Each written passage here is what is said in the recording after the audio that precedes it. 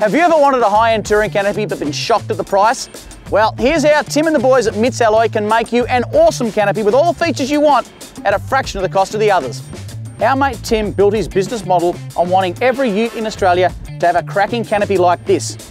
To do this, he's built a factory where he can produce a high volume of canopies at lower margins. These are as tough and as fully featured as canopies get, with a price tag much lower than anything comparable.